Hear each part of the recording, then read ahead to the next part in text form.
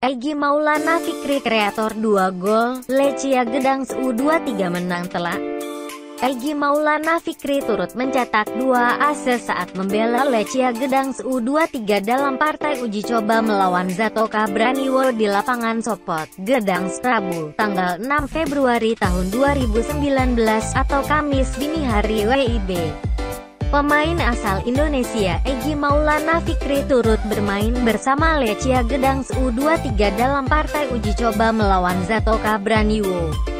Ini merupakan uji coba pertama yang dilakoni Egi usai menjalani pemusatan latihan di Belek, Turki pada tanggal 19 Januari hingga tanggal 2 Februari lalu. Tampil sebagai starter, Maulana Fikri DKEK menang telak 5-0 atas lawannya itu. Tim muda Lecia Gedangs membuka keunggulan melalui Yan Kopania pada menit ke-8 usai menerima asis dari Egi Maulana Fikri. Pada menit ke-20, Egi Maulana Fikri sempat berpeluang menambah keunggulan pasukan di Aluzialoni melalui sebuah tendangan bebas. Namun kiper Zatoka Braniwo berhasil menepis tendangan pemain asal Sumatera Utara tersebut. Tidak ada perubahan berarti di babak kedua, Lecia Gedangs berhasil menambah tiga gol lagi melalui Sebastian Rugowski, 2, dan Kucinye. Egi Maulana kembali memberikan akses untuk gol keempat yang dicetak oleh Kucinye.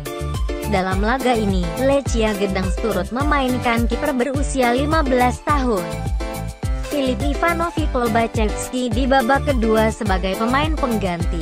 Kemenangan 5-0 untuk Lecia Gedangs U23 menjadi hasil akhir pertandingan. Hasil uji coba ini merupakan raihan positif bagi para pemain muda Lecia Gedangs sebelum menghadapi ekstra klasa putaran kedua. Hal ini juga merupakan rangkaian persipan yang dilakukan Lecia Gedangs U23 melanjutkan putaran kedua kompetisi 4. Liga Grup Pomorska, kasta kelima. Ekstra klasa bakal kembali bergulir pada Sabtu, tanggal 9 Februari tahun 2019 dan Lecia Gedangs dijadwalkan menjamu Pogon Yasi Cecen.